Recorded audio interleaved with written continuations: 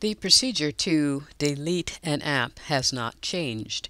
If you hold your finger down on the app long enough, the app or the folder will wiggle and you just press the X located in the upper left corner of the app or icon. I am not going to delete that right now so I'm going to press the home button one time to stop those from wiggling. What if you just want to force quit the running app? Now when you double click the home button, instead of being given a bar down at the bottom showing the running windows and allowing you to press on an icon and click on the X to force out of that, when you double click on the home screen now you are given the multitasking view.